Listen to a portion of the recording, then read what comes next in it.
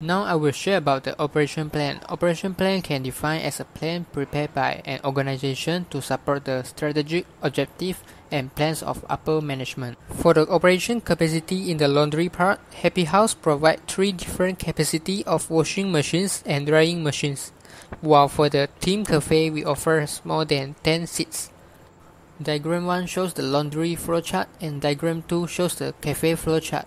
We serve the customer the best service and step by step in order to get good feedback from customers. The table shows the types and uses of raw materials that use in our cafe and laundry. Raw materials also play an important role in the production process and also be one of the cost of production. The table shows all the machine and equipment used that needed to produce business product and produce service to customer. All the machine and equipment used in Happy House is to provide unique service to customer. Most of the machine and equipment are from Japanese brands as more durable.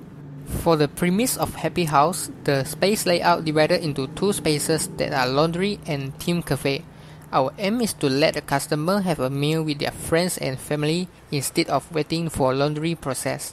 We also provide photo zone space for customer with different theme for every season.